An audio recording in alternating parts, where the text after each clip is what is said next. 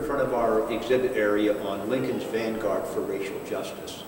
I would say that uh, one of the reasons it ties into Black History Month is, to me, Black History Month is a celebration of the accomplishments of the African American community. 52 weeks out of the year, we should be celebrating the importance of the people, of those personalities that were there, sort of on the front lines. In fact, they were on the front lines with Abraham Lincoln, whether it was the Underground Railroad, whether it was Sojourner Truth, who met Abraham Lincoln in the White House, Frederick Douglass met Abraham Lincoln in the White House.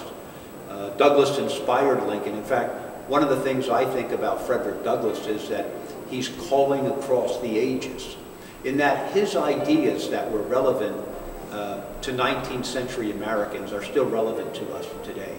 Most people are not aware of the fact that he was adamant about women's rights. The fact that day Douglass died in 1895, he was returning home from a women's rights rally.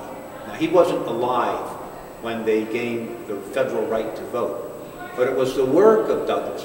Yet people don't think about that. After, after the Civil War and slavery was abolished, Douglass didn't stop there. He wanted, he wanted equality, he wanted a better life for all people.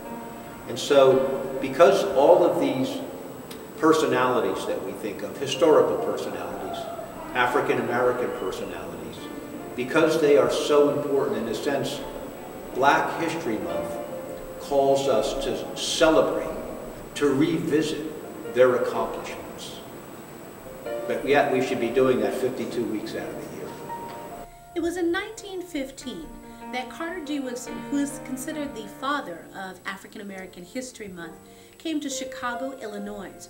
It was there that the life and legacy of President Abraham Lincoln was being celebrated in the Chicago Coliseum and the 50th anniversary of the end of slavery.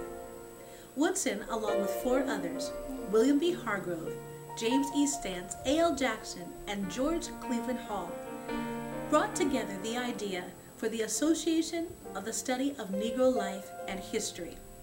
A month later, on September 19, 1915, the Association for the Study of Negro Life and History had formed its mission and became an official association.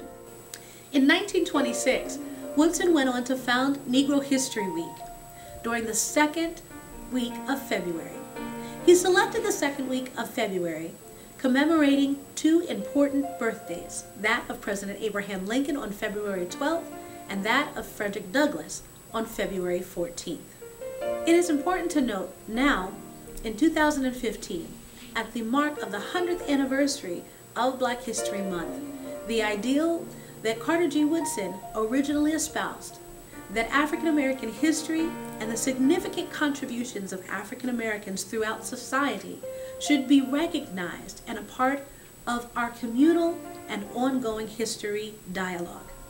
It is in that same spirit of dialogue, community, and diversity that we commemorate the 100th anniversary of Black History Month.